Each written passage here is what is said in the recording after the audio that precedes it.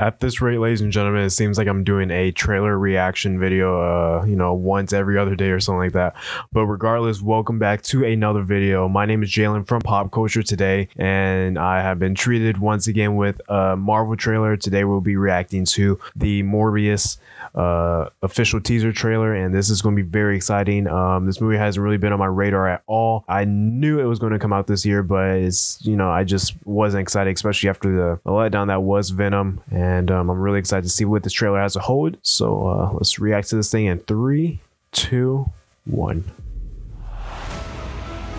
Oh, another countdown.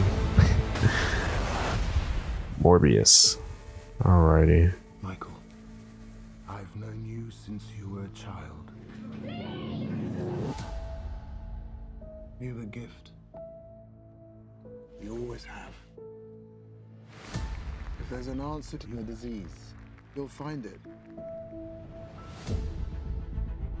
Never been a huge Jared Leto fan, but maybe this might change that for me. I should have died years ago. Hmm. I'm still here if not to fix this. But, um, I have a rare blood disease, and I'm running out of time. This could be my last chance. I love the music so far, dude. This is killer. That's legal. I don't want to see you get hurt more than you already have. This would be a cure.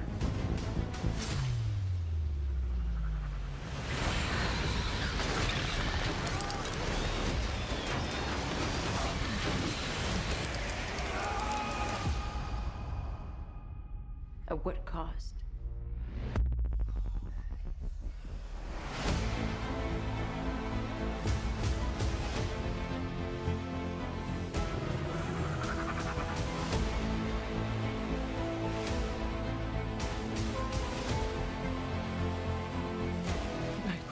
I'm actually speechless right now.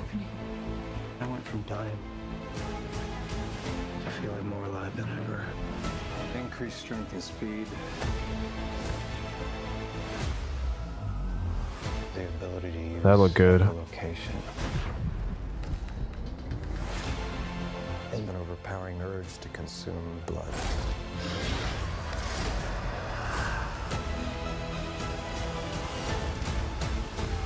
Hmm. How far are we allowed to go? Spider Man. Look like Sam Raimi's suit. broken. Until the remedy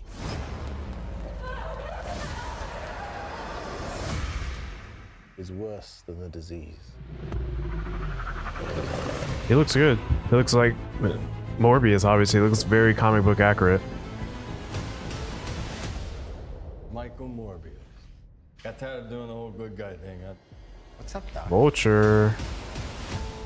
All right, maybe he's going to break out the raft where he was sent in Spider-Man: Homecoming. Um, so first impressions right off the bat, I gotta say, really liked it. It was it was a good trailer. I will say that. I don't know if they're going to take this a rated R route. I know it's rumored that it will be a rated R movie. I don't know how uh, true that is, but yeah, dude, that was a really solid trailer. Like I said, I'm not a huge Jared Leto fan. I mean, the movies that I do like that he's in is I don't like him because of him at all. Like Blade Runner 2049, he's in that movie. He he honestly has nothing to that movie. I, I love that movie for everything else but him. Honestly, um, obviously he was in Suicide Squad. He played probably my least favorite iteration of Joker. Just an absolute buffoon in that movie. But um, I will say I'm really excited for it. I will say that. So yeah, ladies and gentlemen, that is my Morbius teaser trailer reaction. Let me know in the comments what you guys are thinking about this movie. Um, I gotta say on my radar now. It is something I'm looking forward to. Uh, another movie to add to my summer blockbuster list. And um, yeah, but that's pretty much it for me. I want to hear from you guys in the comment section below. So please let me know what you guys are thinking. Um, I'm always willing to have a conversation. Can't wait to read those awesome comments. Thank you guys for all the support. Be sure to follow us on Twitter at official pop cult. Yeah, we have a lot more planned, and I am really looking forward to this now. So um, uh, I highly appreciate all you guys for coming out and watching the video. As always, have a wonderful day and peace out.